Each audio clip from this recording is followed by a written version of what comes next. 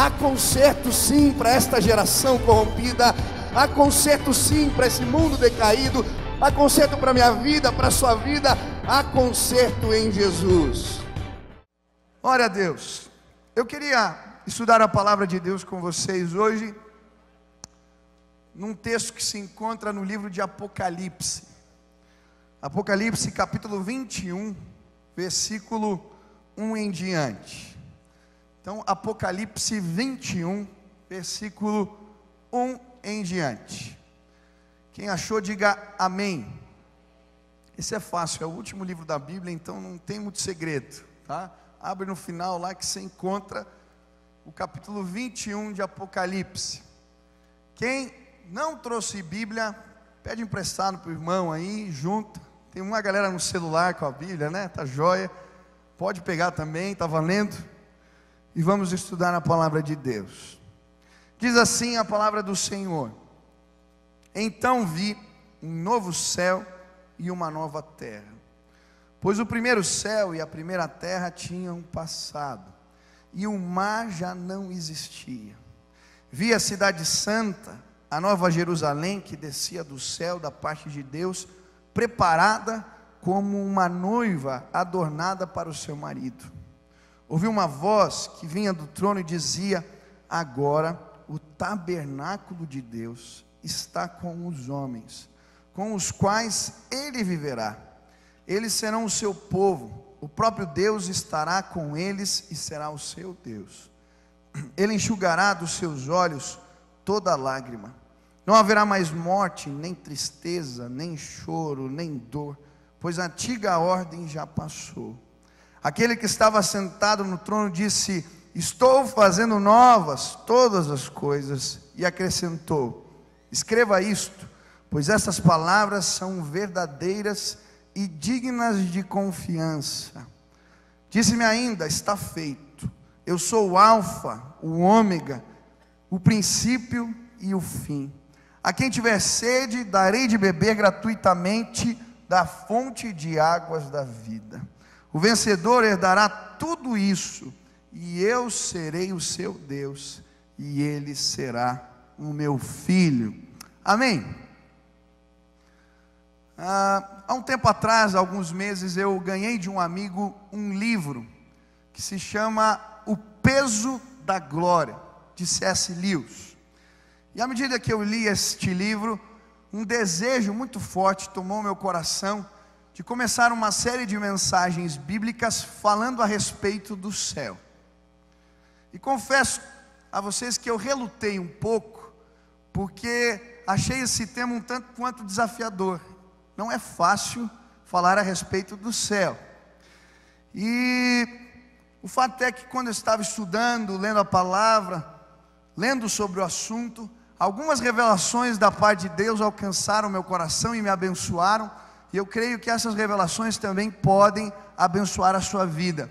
E por isso hoje eu quero começar essa série de mensagens intituladas ah, Abrindo as Cortinas do Céu abrindo as cortinas do céu. Quem quer comigo hoje desvendar, descortinar de alguma maneira o céu aqui neste lugar? Levante as mãos. Amém? Vamos abrir as cortinas do céu? Você está preparado? Diga para o teu irmão aí, fique preparado. Deus vai se revelar para você. Amém? Eu creio.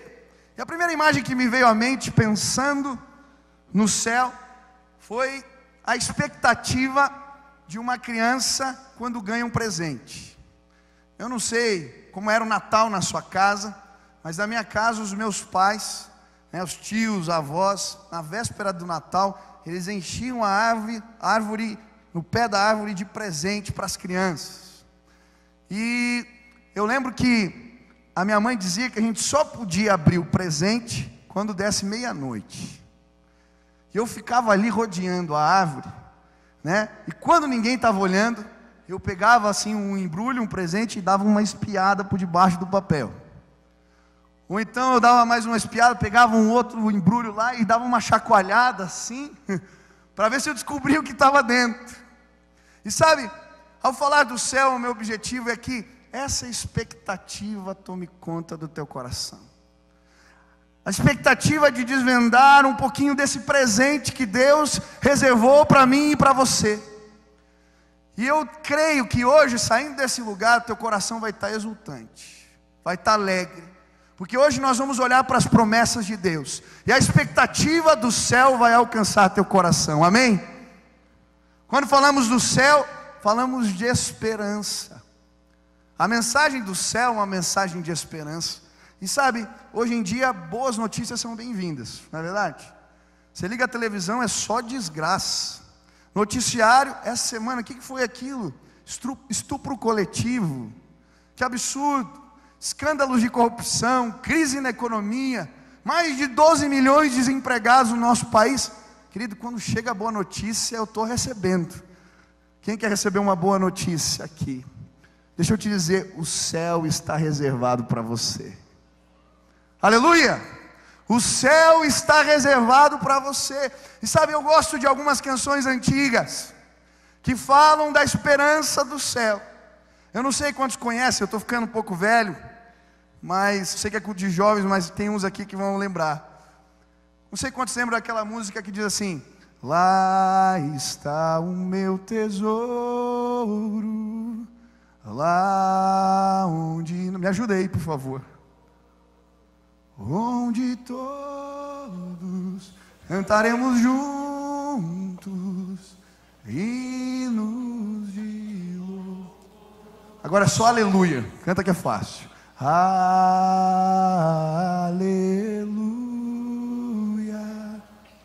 aleluia, aleluia, aleluia.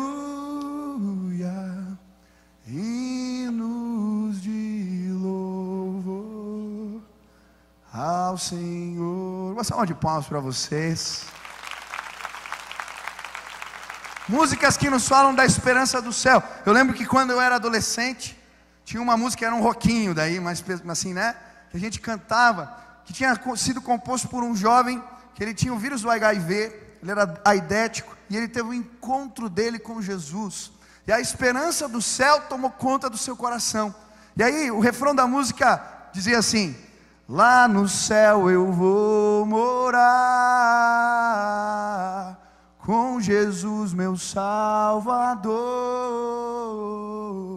Lá na glória hei de estar, liberto pelo sangue do Senhor.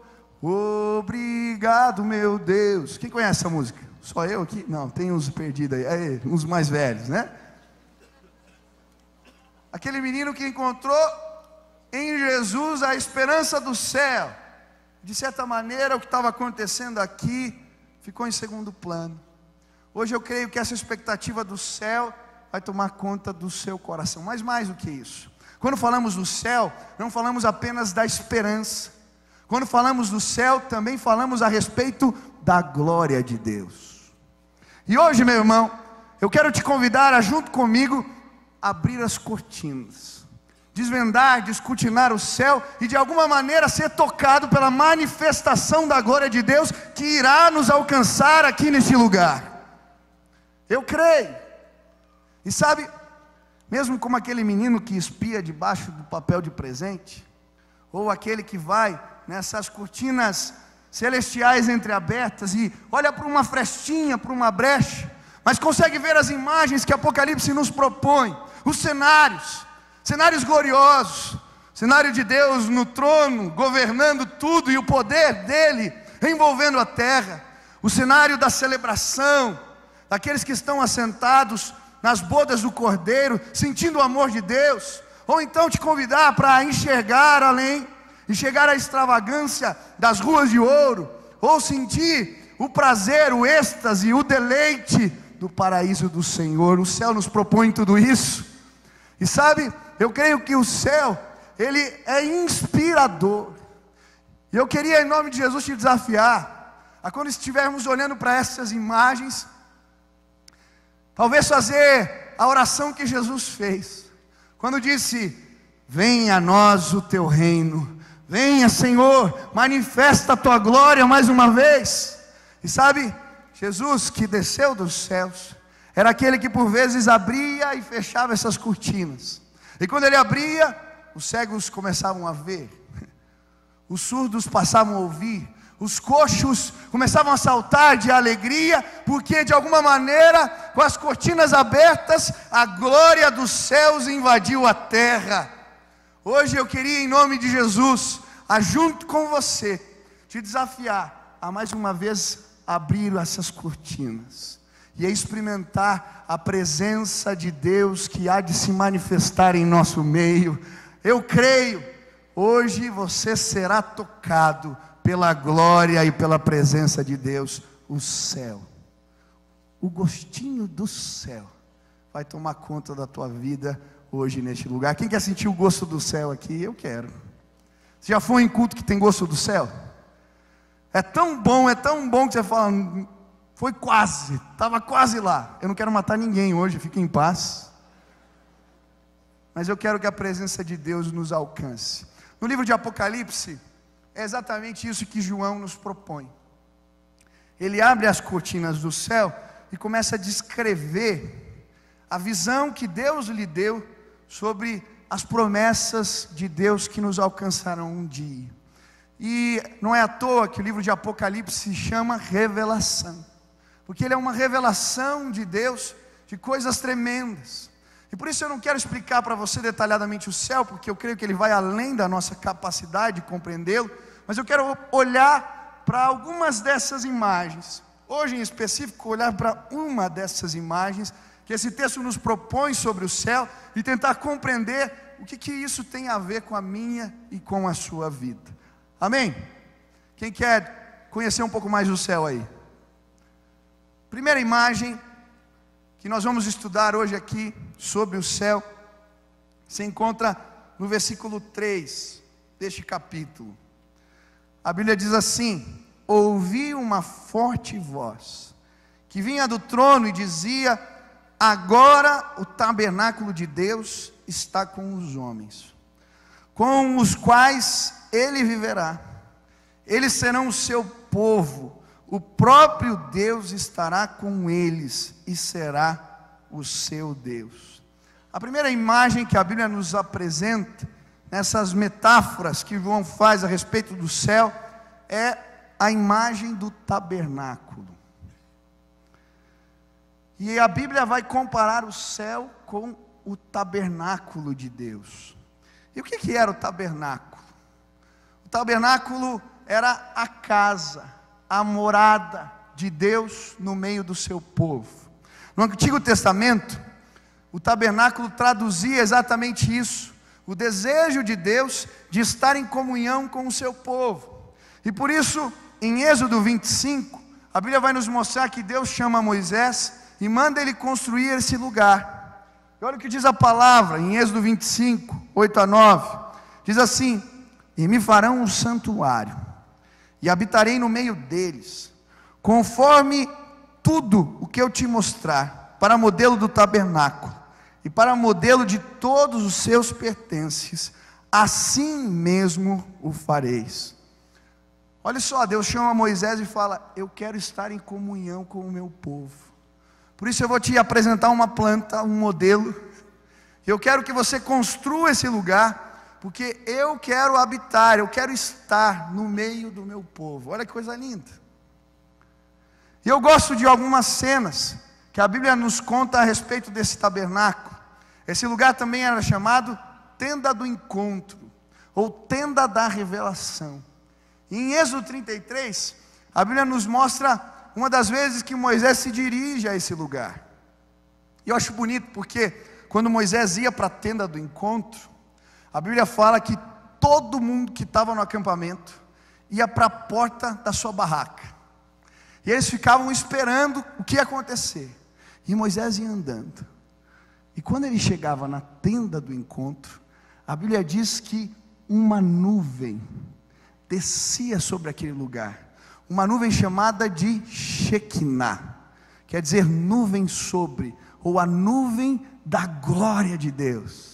E quando aquela presença descia sobre aquela tenda onde Moisés estava, tenda do encontro, A Bíblia diz que a presença de Deus era tão real, era tão forte, que todo o povo que estava de pé na, na frente das suas barracas se ajoelhavam, e eles começavam a orar, e a clamar, e a adorar a Deus, porque a presença do Senhor era real ali.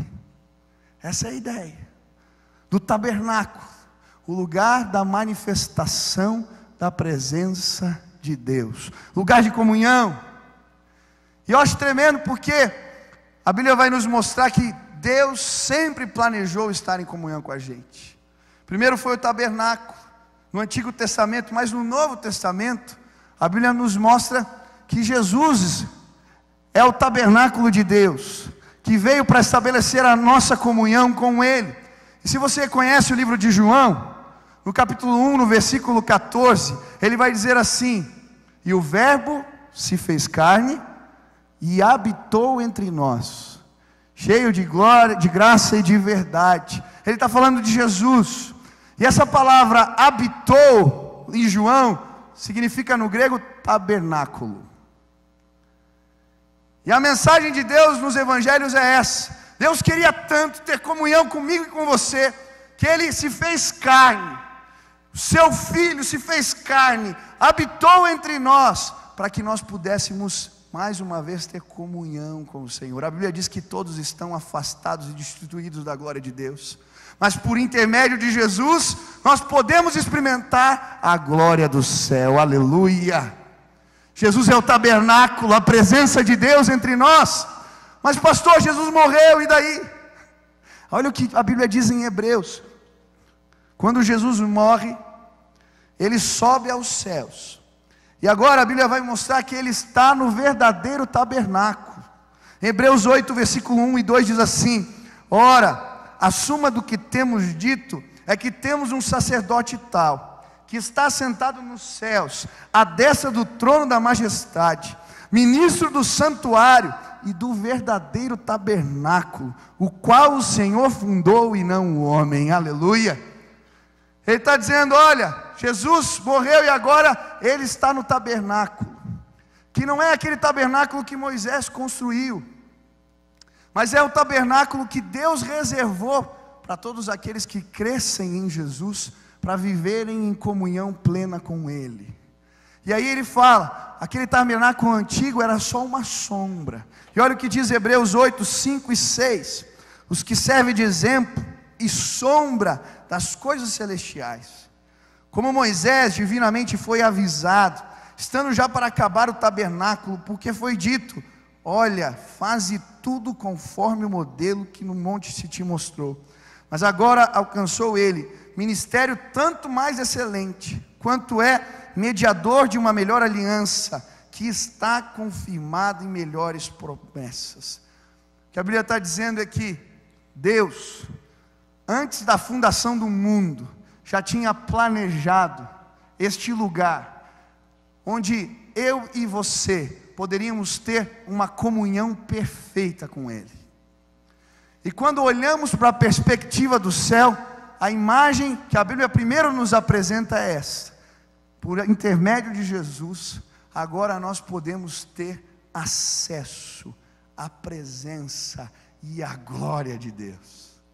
E sabe, não vai ser só um êxtase ou um momento de alguns minutos ou segundos, vai ser para sempre, na presença de Deus, sentindo a Sua glória. Aleluia! Louvado seja o nome do Senhor.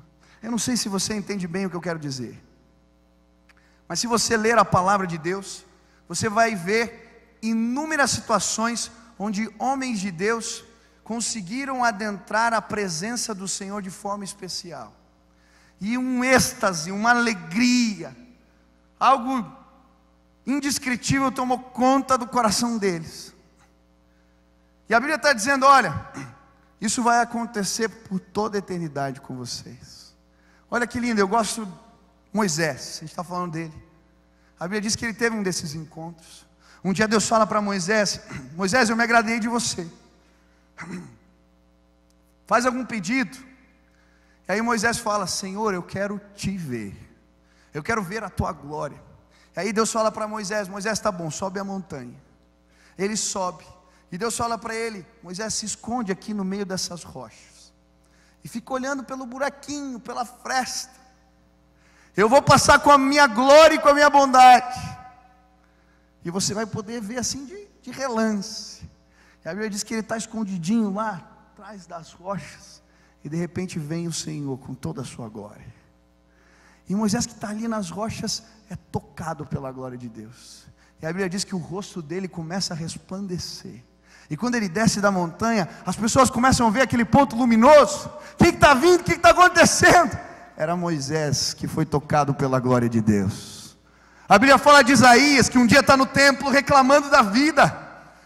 Ai, Senhor desse povo, ai dos pecadores, ai disso, ai daquilo, e de repente orando, Deus visita Isaías no templo. Ele vê o Senhor assentado sobre o trono, e a Bíblia diz que as vestes do Senhor enchem aquele lugar, aquele lugar se enche de fumaça e começa a tremer. E ele cai de joelhos e não consegue se levantar. Tamanha era a glória, tamanha era a presença de Deus. E ele começa a dizer: Ai de mim, Senhor, ai de mim. Eu sou um homem pecador e os meus lábios são impuros.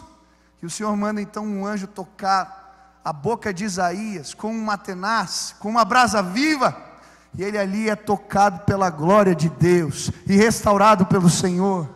Eu gosto do cenário que a Bíblia nos propõe no Monte da Transfiguração. Pedro, Tiago e João estão caminhando com Jesus. Jesus sobe numa montanha, e de repente a Bíblia diz que o rosto de Jesus é transfigurado, fica glorificado.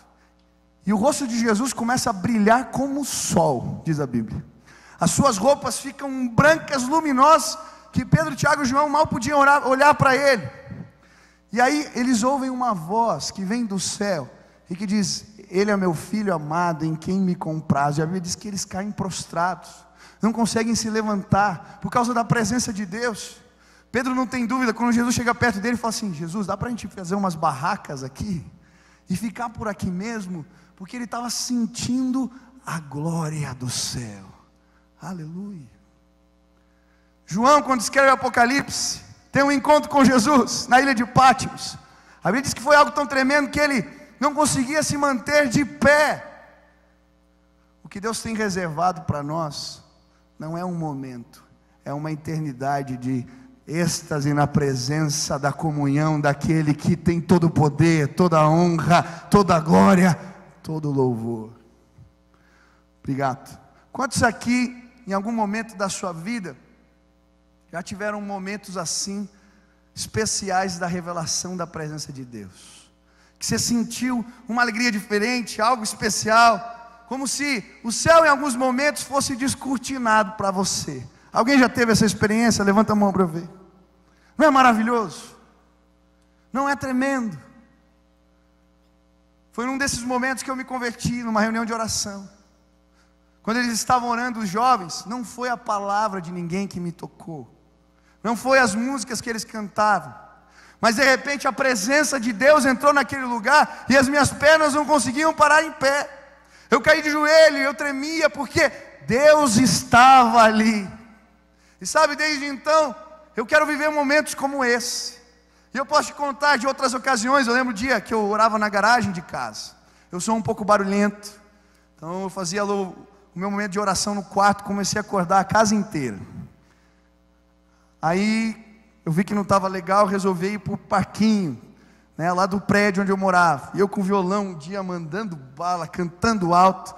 Chega o porteiro do prédio, ele era crente, fala: Ô irmão, orar é bom, mas os vizinhos estão reclamando. Aí eu desci para o subsolo na garagem, falei, aqui eu não incomodo ninguém. E tinha um buraco lá no fundo da garagem, que era o meu canto de oração. Eu ia para lá e ficava falando com Deus. Tinha feito um propósito de orar uma hora por dia. O primeiro dia foi um sofrimento que você não tem ideia.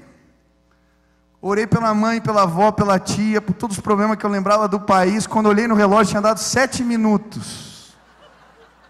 Falei, meu Deus, uma hora de oração vai ser difícil. Mas eu comecei a orar, e consegui orar uma hora, e eu nunca vou me esquecer. Um dia que eu desci para buscar a Deus, e naquele dia, quando eu desci, saí do elevador, Parecia que os anjos do Senhor, a presença de Deus já estava na garagem. Eu estava no meio dos carros, mas Deus estava ali. E eu fui andando até o fundo. Eu lembro que eu me arrepiava inteiro, porque eu sentia a presença dele. E quando eu sentei no meu buraco, e a gente começou a bater papo, conversar. A glória de Deus me visitou, e Ele falava comigo, e eu chorava, e era uma alegria tão grande, porque naquele dia as cortinas do céu foram abertas para mim.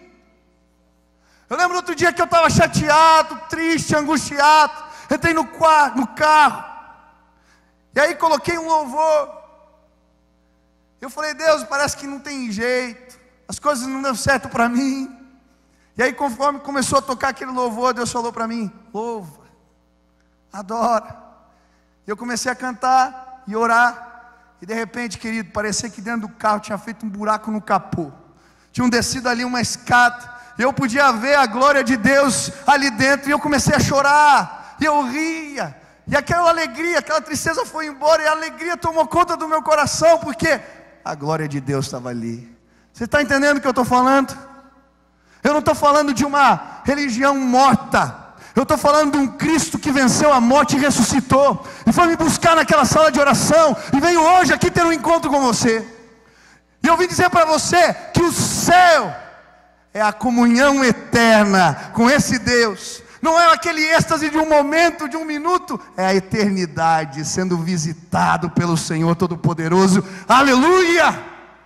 Quando eu olho para o céu, eu vejo o tabernáculo de Deus. Eu vejo a habitação dele, e eu vejo ele me convidando, dizendo: Eu preparei morada para você aqui do meu lado. Vem, filho, eu quero ter comunhão contigo, eu estou te chamando, vem. Ah, como eu queria que os céus se abrissem hoje aqui nesse lugar. Finney diz que quando nos seus diários de oração, que um dia quando ele buscava Deus, num momento especial, ele sentiu a presença de Deus de tal maneira que ele não conseguia ficar de pé, e correntes de amor corriam sobre o seu corpo. Ele explicou assim: algo inexplicável na presença de Deus. Eu lembro de cultos que eu participei, onde a atmosfera ficava mais pesada, parecia que tinha um ar diferente, a glória de Deus estava ali. Eu lembro a primeira vez que eu preguei aqui no culto, e aí senti no coração, era aqui no, no templo, primeira vez no templo fazer uma ilustração que eu jogava farinha na cabeça. Eu lembro que eu cheguei com os negócios de farinha, tudo. Passou uma filha que já faleceu. Filho, o que você vai fazer? Vai fazer bolo? Eu falei, não, pastor, eu vou, vou pregar a palavra. Ele falou, mas meu filho vai fazer sujeira. Tinha acabado de pôr o carpete aqui, em, carpete aqui em cima. Eu falei, um pouco. Ele falou, põe uma lona, né, filho? Não custa nada. Aí eu pus a lona. E era um moleque, eu tinha 20 anos. Domingo à noite. E eu lembro que a ilustração era muito simples. Eu pegava um pouco de farinha, ia jogando assim as medidas dentro de um balde. E eu falava a respeito da plenitude do Espírito. À medida que a gente busca a Deus, Ele vai derramando da presença dEle sobre nós. E no final eu falava que a porção de Deus era sobremaneira, recalcada, sacudida e abundante, então eu jogava farinha na cabeça. Contava a história de Moisés que resplandecia, ia passando entre os corredores e ia colocando a mão nas pessoas. E sabe o que acontece quando está cheio de Deus? Aonde a gente passa, a gente deixa as marcas do Senhor na vida das pessoas. E eu lembro quando eu comecei, eu desci aqui, e quando eu comecei a tocar nas pessoas com a farinha, as pessoas começavam a chorar. E de repente, queridos, eu era um moleque, eu não sabia pregar bem. Os céus foram descortinados aqui. As pessoas começaram a levantar e aplaudir e a dizer glória a Deus. E a presença do Senhor tomou conta desse lugar. E as pessoas vieram para o apelo porque Ele estava em nosso meio. Meu irmão, você nunca vai entender o que é o céu. Se você não puder descortinar, observar, dar uma bisoiada pela festa lá. E hoje, antever o que Deus tem reservado na presença dEle para você. E sabe, a única o jeito, tem gente que fala que o céu, a religião é ópio do povo. que você é bengala para ajudar as pessoas a passarem por momentos difíceis. Eles nunca tiveram essa experiência de ver as cortinas do céu se abrindo aqui em terra e a glória do céu alcançando as suas vidas. Porque se tivessem, eles não diriam isso. Eles aguardariam com grande expectativa o dia que Deus nos chamará e dizer, e disser, filho, entra no gozo do teu Senhor, servo bom e fiel, foste fiel no pouco, sobre o muito te colocarei, aleluia. Eu creio que Deus tem coisas novas para a nossa juventude. Eu creio que Deus quer fazer grandes coisas. Eu creio num avivamento que Deus quer despertar no nosso meio, para chacoalhar essa cidade. Eu creio que a gente vai ver pessoas se batizando. Não vai ser um culto de batismo, vai ter que ser toda semana, porque não vai dar, não vai dar conta. Eu creio que nas nossas reuniões de oração, as cortinas vão estar abertas. Nos nossos cultos, as pessoas que puserem o pé para dentro vão sentir a presença real daquele que vive. Ah, querido, se a glória de Deus estiver atuando entre nós, ela se tornará irresistível. Sabe o que eu espero de você e de cada um de nós aqui? É um clamor para que o céu invada a terra. Eu queria te desafiar junto comigo a abrir essas cortinas através do poder da oração. Nós estávamos na célula essa semana e um jovem falou: Pastor, eu via você contando essas histórias aí do que Deus faz, e o meu líder de célula contando também as experiências que Deus fez na vida dele. E eu ficava pensando: Isso não acontece comigo. E aí eu fiz um propósito com Deus, de orar todos os dias. Pastor, fazem sete meses que eu tenho orado todos os dias. Pastor, eu podia passar a noite aqui contando o que Deus tem feito na minha vida e como Ele tem me visitado. Eu creio que é possível abrir essas cortinas. E Deus tem me incomodado. Essa semana nós saímos com a liderança da juventude, fomos lá no acampamento orar pelo retiro. O tema do retiro é Venha a nós o teu reino. E a gente foi orar. E no momento da oração, Deus nos visitou ali. E algo que ficou muito forte no meu coração e eu creio que o recado de Deus para nós é que nós precisávamos reunir as lideranças, supervisores de células, os líderes de células, e todo mês começarmos a fazer encontros de oração na presença do Senhor. E se nós fizéssemos isso e clamássemos, e pedíssemos a Deus, o Senhor abriria as cortinas dos céus para nós. E eu quero te convidar a participar desse movimento santo a começar na sua casa, a separar um tempo na presença de Deus. Aí nesses encontros de oração, hoje nós vamos ter uma vigília. Irmão, vai lá. Você quer descortinar o céu? Vai lá. E de encontro em encontro, de busca em busca, nós podemos sim experimentar a maravilhosa presença do Senhor em nosso meio. Eu não vou falar das outras imagens, essa é a primeira.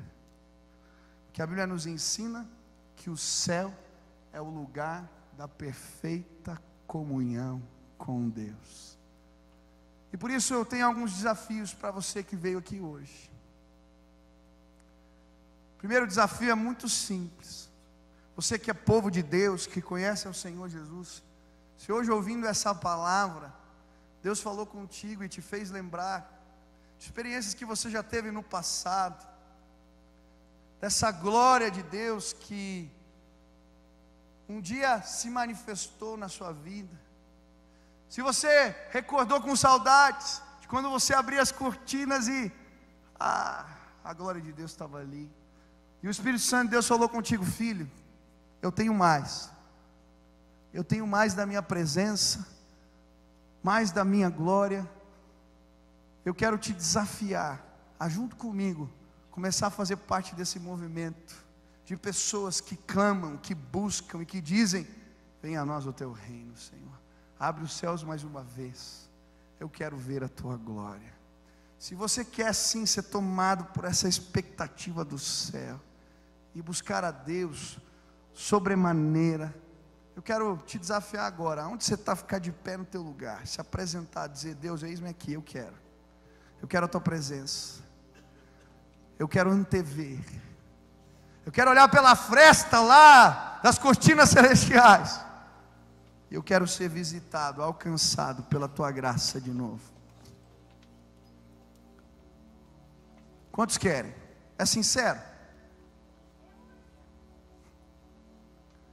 Quantos querem? Quantos creem que nós podemos abrir essas cortinas hoje aqui? Levantem as mãos. Quantos desejam? Você quer ser visitado pelo Senhor? Nós vamos levantar um clamor. E a glória de Deus vai vir sobre este lugar. Se Deus falou contigo, eu sei que muita gente está de pé, mas vamos encher esse lugar, vamos se prostrar na presença dEle, vamos encher os corredores e vamos clamar: Deus, venha, Pai, venha. Eu quero fazer parte desse tabernáculo. Eu quero a tua glória. Venha, você ficou de pé, desce aí, sai do teu lugar. Nós vamos levantar um clamor juntos. Enquanto a gente ora uns pelos outros e clamamos a presença de Deus, a glória do Senhor vai se manifestar nesse lugar. Pode vir em nome de Jesus. Pode vir em nome de Jesus.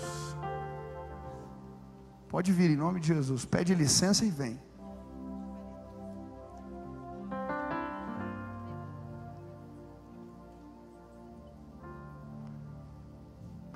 Enquanto você está vindo, eu quero fazer mais um convite. Aqueles que estão no nosso meio, e nunca entenderam a perspectiva do céu. Talvez era um conto para você, uma ideia. Ou aqueles que estão aqui e nunca sentiram, tiveram a experiência de antever, de sentir essa glória, essa presença maravilhosa de Jesus. E hoje, ouvindo essa palavra, o seu coração se encheu de esperança, seu coração se encheu de expectativa de conhecer a presença e a glória de Deus. E hoje você quer tomar uma decisão, deixa eu dizer, só é possível enxergarmos a glória de Deus por intermédio de Jesus. Só Ele, só Ele nos conduz, só Ele nos leva a essa presença maravilhosa. E hoje aqui, você está dizendo: Eu quero entregar a minha vida a Jesus, ser um seguidor dele, eu quero experimentar isso aí que você falou. Eu quero a glória de Deus na minha vida, eu quero conhecer a Jesus. Aonde você está, meu irmão? Levanta a tua mão bem alto, eu quero orar por você. Tem alguém? Levanta a mão bem alto. Bem alto. Deus abençoe, Deus abençoe. Meu Deus do céu, aleluia. É muita gente. Eu não vou pedir para você vir aqui, mas Deus vai responder tua oração aí, irmão. Você que está com a mão levantada, ergue as duas mãos assim para o céu. E repita assim comigo, com fé, não porque eu estou dizendo, repita assim: Senhor Jesus, eu hoje entrego a minha vida nas tuas mãos. Senhor Jesus, eu entendo que sou pecador, mas hoje eu me arrependo e eu declaro que toda a minha vida pertence a Jesus Cristo. Que o teu amor, que a tua graça, que o teu poder e a tua presença me acompanhem todos os dias da minha vida, em nome de Jesus. Amém, amém. Deixa eu orar por você agora, Pai. O Senhor está vendo o gesto do teu povo que está de mãos erguidas, clamando e pedindo que querem sim, através de Jesus, experimentar a tua glória.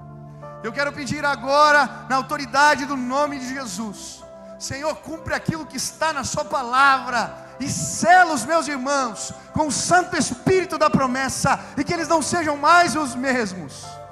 Que hoje o Espírito Santo de Deus faça morada nos seus corações, que eles saiam daqui renovados, alegres, uma nova vida nesta vida, porque o Senhor ouviu a nossa oração.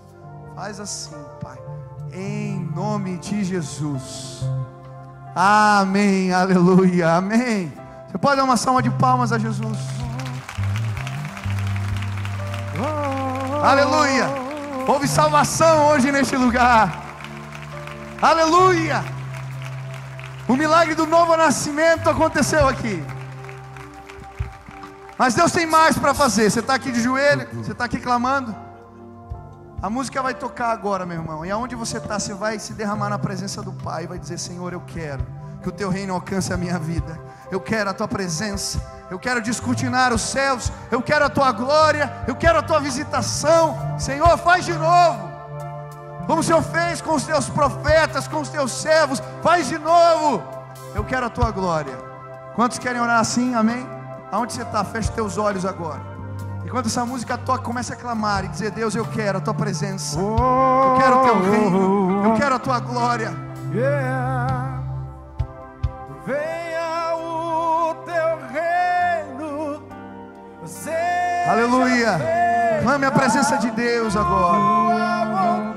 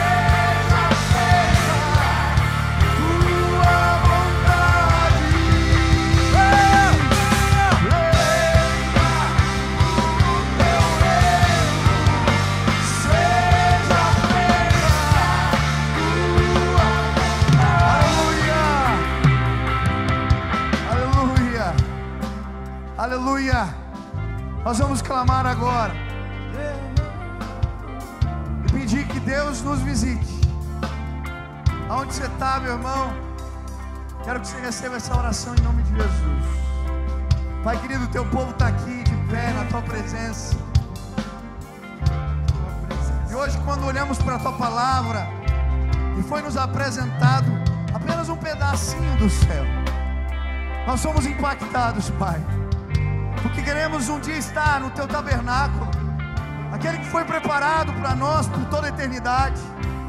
Mas, Pai, nós te damos glórias, porque o Senhor, em toda a história, sempre quis estar em comunhão conosco. E por isso, no passado, houve um tabernáculo físico.